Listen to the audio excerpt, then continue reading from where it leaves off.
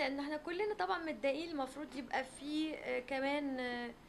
آه، نعرف بيحصل ايه يعني في سريه وفي متكتمين على الموضوع والناس طبعا قلقانه وسعد علاقته كويسه بكل الناس واخلاقه العاليه معروفه عند كل الناس متواضع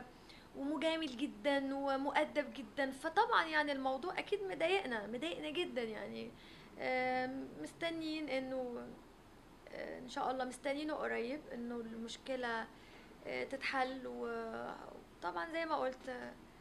عمر ثقتنا ما هتتهز فيه لان انت بتكلمني مثلا عن اخويا يعني عارفاه بشكل كويس جدا يعني ف